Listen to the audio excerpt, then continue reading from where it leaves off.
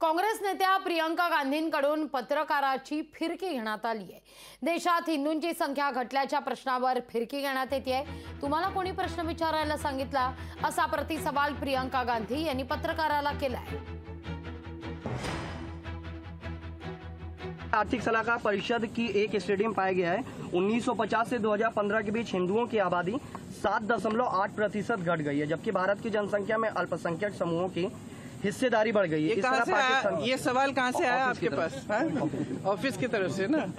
Office को बोलो प्रियंका जी पूछ रही है किसने भेजा उन्हें?